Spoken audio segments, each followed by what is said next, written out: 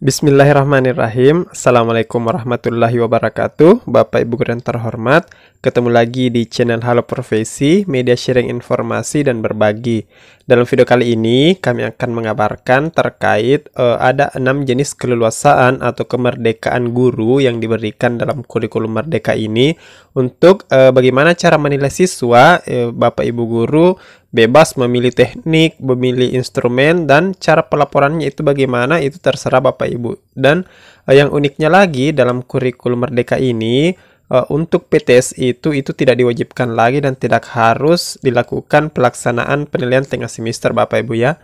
Nah, bagaimana selanjutnya pembahasan mengenai asesmen atau penilaian dalam kurikulum Merdeka ini? Berikut kami tampilkan ringkasan video dari seri kelima webinar terkait uh, penilaian dan asesmen dalam kurikulum Merdeka.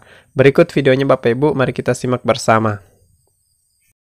Bapak dan Ibu yang saya hormati, keasikan berikutnya dalam asesmen diwujudkan dalam bentuk keleluasaan dalam waktu, dalam pemilihan teknik, dalam pemilihan instrumen, dalam pengolahan, dan dalam pelaporan. Silakan Mas Lutfi. Karena itulah Bapak dan Ibu sekalian, ketika ada pertanyaan, Pak Is, apakah penilaian tengah semester harus kita lakukan?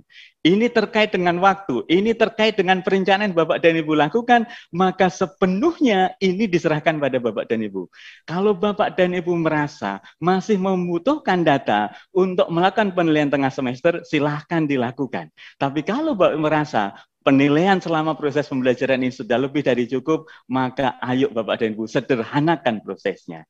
Demikian juga Bapak dan Ibu, penilaian awal pembelajaran, kapan formatif, kapan sumatif, pilihannya diserahkan pada Bapak dan Ibu.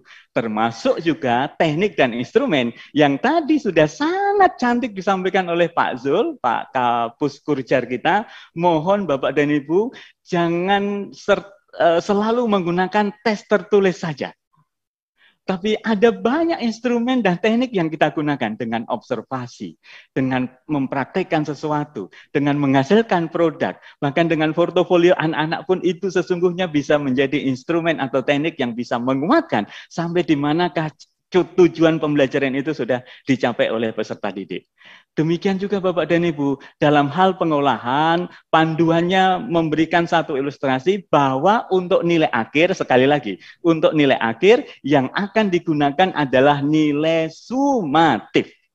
Sementara itu, hasil dari catatan kita, hasil pengamatan kita selama proses formatif itulah nanti yang akan dijadikan sebagai bahan dalam menentukan deskripsi atas nilai yang sudah diperoleh peserta didik.